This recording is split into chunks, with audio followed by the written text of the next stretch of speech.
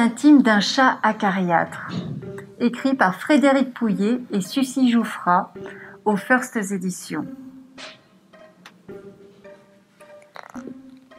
Je me présente, mon nom est Edgar. Je suis un petit chat de 6 mois, vif, intelligent, extrêmement beau, facile à vivre et modeste. Après avoir bourlingué de foyer en foyer, je viens d'être recueilli, contre ma volonté, par une famille dont je ne connais pas le nom. Appelons-les la famille Crétin. Ça leur va à merveille. Que vous dire de mes nouveaux geôliers? La famille Crétin est composée d'un couple d'une banalité affligeante. Marc et Séverine. De deux enfants, Rodolphe 5 ans, un petit blond aussi mignon que bête.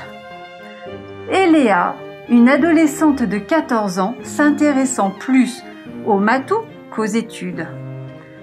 Et enfin, de Patapouf, un chien amorphe de race indéterminée.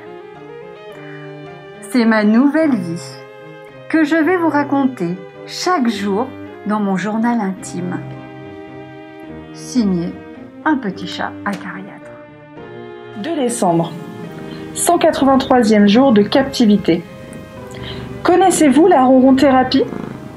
C'est une théorie fumeuse selon laquelle le ronronnement des chats calmerait les angoisses et le stress des humains.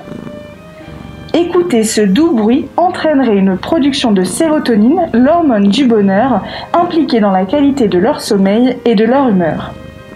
Depuis que Séverine a lu un article sur ce sujet, elle exige de moi des séances quotidiennes de ronron. Autant vous dire que je refuse catégoriquement de lui faire ce plaisir, tout du moins gratuitement. Nous, les chats, tout comme les psys, avons une éthique. Nous ne faisons rien gracieusement. Chaque séance de 10 minutes de ronron thérapie lui est donc facturée une boîte supplémentaire. Et encore, je lui fais un prix d'ami.